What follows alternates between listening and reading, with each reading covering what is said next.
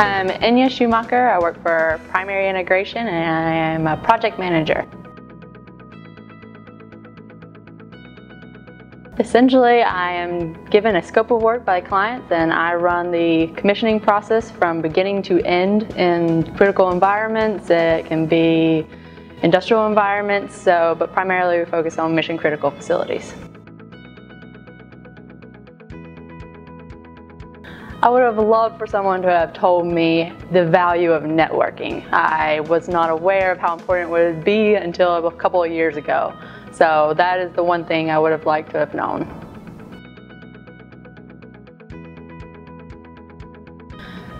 Biggest challenge I face for myself is continuing education. It's not that, it's very supported by my company, but unfortunately finding time once you actually get into the field is very difficult. So you always want to find out what is new in the new technologies that are coming out, but it is challenging to find the time once you are working in this type of environment.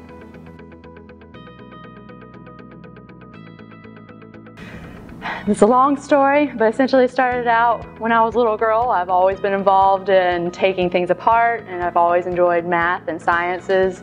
Um, I actually went into computer science to begin with in college and decided that it was not for me. I needed something a little more hands-on and a little more teamwork based. Um, and from there I decided I would move into mechanical engineering just from my hobbies and interest. It matched. And I ended up taking internships that were in the mission critical field in the HVAC design. And I love the people I work with. I love the fellows that I worked with and even got a chance to work with some women and that was even better as well. So. I went to college at the University of North Carolina at Charlotte. Um, I knew that I like I said, I was going to go into computer science and I knew I wanted to stay in North Carolina. So it was NC State or UNC Charlotte for me. And I am very happy with my decision. I met a lot of great people and from there I've developed a lot of skill sets that have been helpful for my career.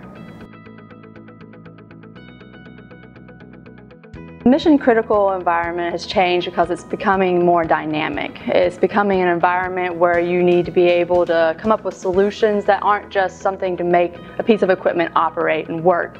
You want to make it work efficiently and better than it did before. So that's what I'm seeing.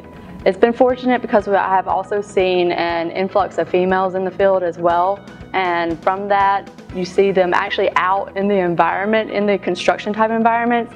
And I think just getting them out there so people can see that we are very capable of doing a job just as efficiently and just as the same quality as any other person is capable of doing.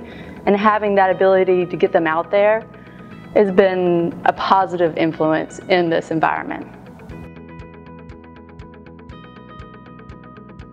Um, my advice for women that are interested in this field is don't shy away from those types of environments, own it. You have an edge that is makes you viable candidate for any position. And if you were given these types of opportunities to learn and get this type of education, you are just as much of a candidate as next person sitting next to you. Doesn't matter if they're male or female. If you're interested, just walk in there and do your job. That's all you gotta do.